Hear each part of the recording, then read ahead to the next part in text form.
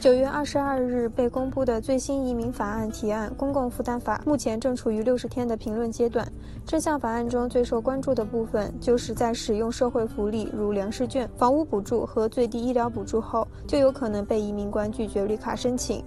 这使得将要步入移民程序的民众人人自危，纷纷放弃使用福利的权利。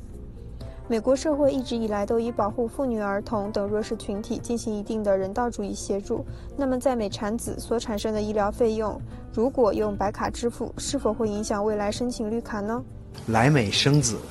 如果使用了政府的资源的话，你会留下一个案底。那么，因为你要申请的时候，你要填表你的姓名、生日，甚至呢，你会不会给你个临时的号码？这样的话，你有了案底，将来你在申请绿卡或入籍的时候，就会有一定的危险。我发现有很多来美生子的人，呃，但凡他经济条件是可以的话，都听了律师的劝告，呃，变成了自费，也就是在医院给的账单的情况下全部付清，呃，不留案底。这样的做法是可取的，应该鼓鼓励和支持。此外，专业的移民律师刘如华也告诉我们，如果是生孩子的产妇遇到紧急的生产状况，如需紧急送医治疗等等，是不被这项提案所包括的。但是，正常的产前检查或产后护理等涉及到白卡福利使用，则与普通的白卡一样，有可能影响未来的绿卡申请。此外，隐瞒自身的资产状况，谎报为低收入申请白卡，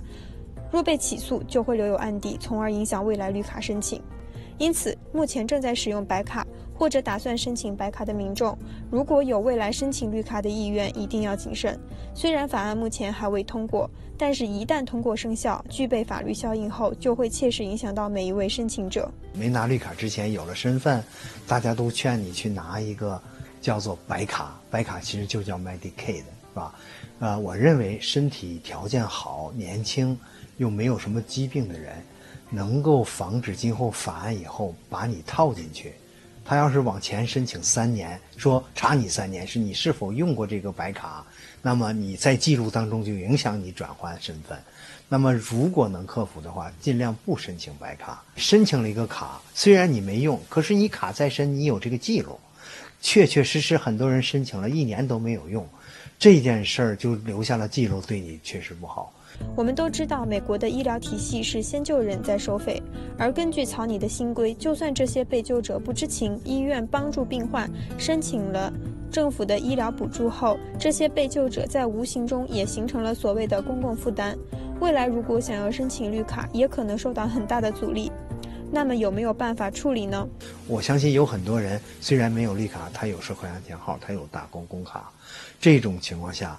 政府是有记录的。那么你尽量的和医院能够，呃，形成一个共识，能不能分期付款，一点点把这个账清掉，不没有记录。